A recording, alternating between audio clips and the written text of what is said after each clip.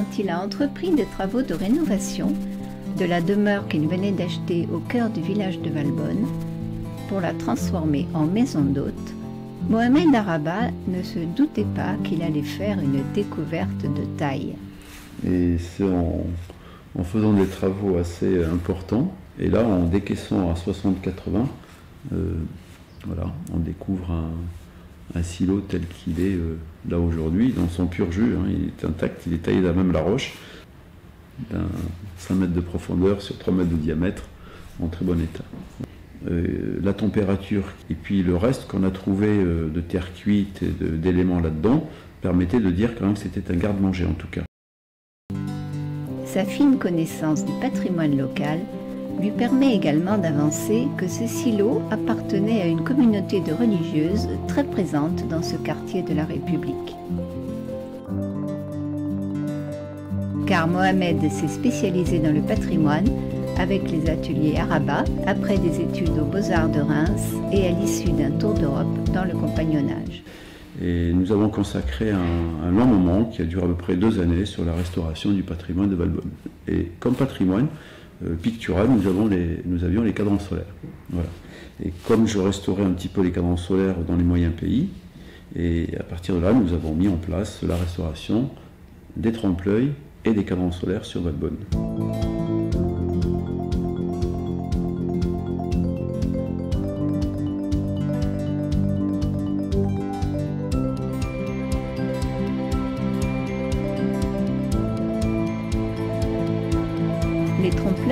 Permettaient d'échapper à l'impôt de la lumière. L'impôt de la lumière, c'était un, impôt qui était, euh, si je ne me trompe pas, 19e. Et au moins vous avez de la lumière qui rentre dans la maison, au moins la maison est bourgeoise, au moins elle est euh, ostentatoire, et à ce moment-là, pour payer moins d'impôts, on pouvait se permettre de faire un trompe-l'œil à l'axosis qui permettait de tromper l'œil, le simulacre, mais qui restait très beau dans, dans l'espace architectural.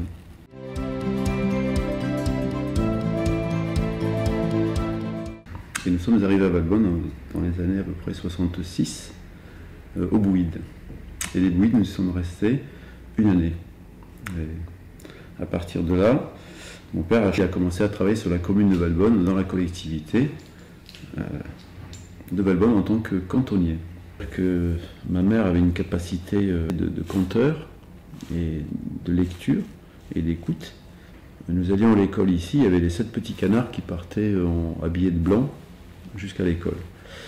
Euh, toute la journée, nous parlions qu'au français. C'est elle qui décidait que nous parlions qu'au français dans la cour et à l'école. Quand nous rentrions à la maison, porte close, les contes étaient récités en arabe.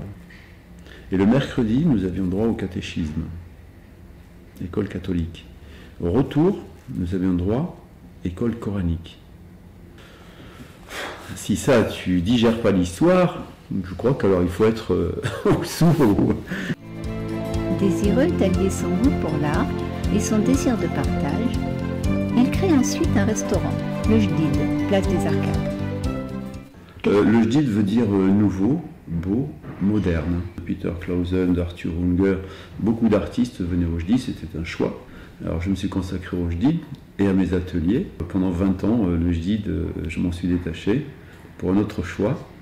Et ce choix, c'est là où tu es en ce moment, le rocher. Et mes parents, j'ai toujours rêvé de leur donner un, beau cadeau. Et le cadeau de mon père, c'était son petit nom sur la place. Le JDID était à sa connotation et puis à Rabat. Je rêvais pour lui en tout cas qu'il y ait une maison aussi euh, grande pour pouvoir euh, poser tous ces petits oisillons. Et le rêve c'était de, consacrer un petit peu mon itinéraire euh, de peintre, de, restaurateur au patrimoine, et puis la nourriture qui était le jdid et mes voyages dans ce lieu qui est une vraie communion, puisqu'architecturalement il permet de recevoir des gens pour le sommeil, des gens pour le partage de la nourriture avec un chef, et puis après l'histoire de l'exposition, puisque j'expose tous les deux mois un artiste venant des quatre points cardinaux de l'Europe.